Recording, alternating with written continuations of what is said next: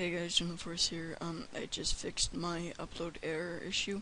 Um, a lot of you guys have been having the same problem. I've been looking through posts on YouTube and Google. Um, the thing is that a lot of people are getting unknown errors when trying to upload, and they're doing everything right. They're getting the right file, the length, and everything is perfect, but it just won't upload. I was having the same problem also. I thought it was my new internet security but it's clearly not because I just uploaded a scrap video on my account. So here is uh, what I'll do. I'll go on YouTube for you guys here, and I will show you. Just let this slow thing load.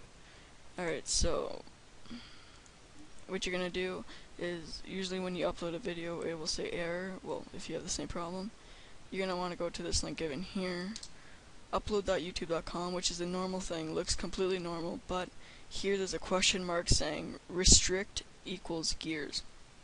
This here just uh, prevents the uh, error to occur, and it worked fine for my other one, if you can see here in my videos.